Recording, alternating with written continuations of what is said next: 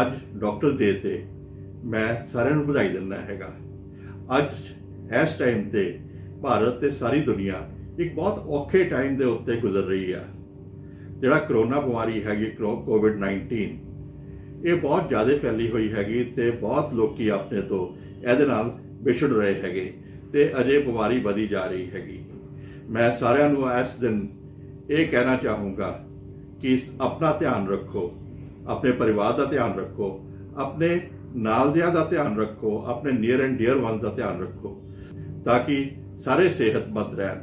ਇਸ ਬਿਮਾਰੀ ਦਾ ਆਪਾਂ ਰਲ ਮਿਲ ਕੇ ਮੁਕਾਬਲਾ ਕਰ ਸਕਦੇ ਹਾਂ।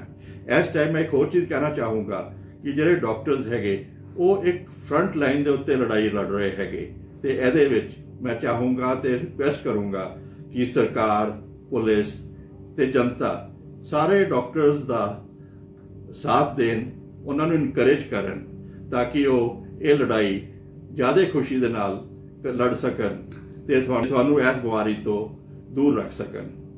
ਸਤਿ ਸ੍ਰੀ ਅਕਾਲ।